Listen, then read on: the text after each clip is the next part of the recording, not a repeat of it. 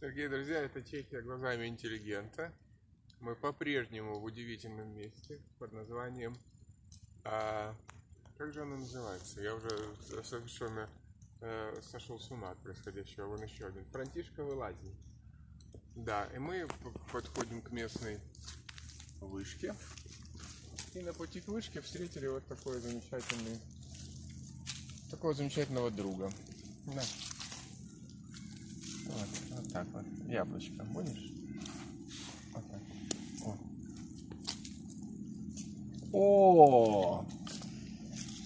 Я так рад тебя угостить, друг мой. Ты великолепно выглядишь. Ты просто красавец. Я думаю, что тебе не помешает еще одна слива. Только я из нее выну кость. Ну, я даже жадно на меня смотреть. Друзья мои, сколько нам открытий чудных готовит просвещение век. Это как вам? Да? Хорошо? Будешь? Давай.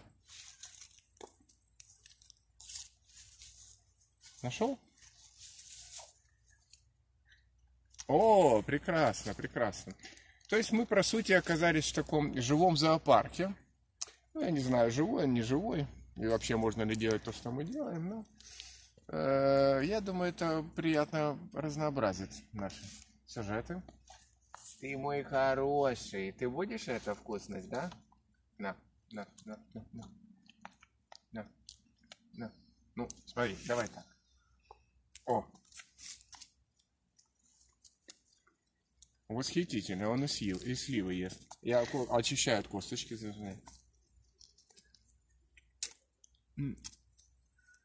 Так. Ну, еще кусочек. О.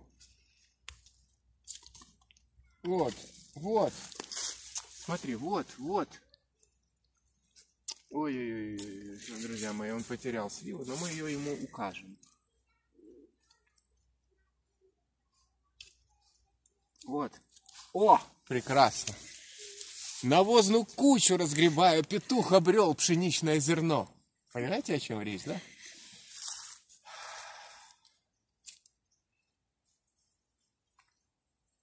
Это Франтишково лазни, путь к вышке, на которую мы взберемся, для того, чтобы подвести итоги нашего сегодняшнего визита в этот замечательный город. И по дороге к этой вышке мы вот так вот замечательно пообщались с еще одним элементом живой природы. То есть речь идет не только, наконец, в нашем цикле «Чехия глазами интеллигента» о флоре, но и о фауне.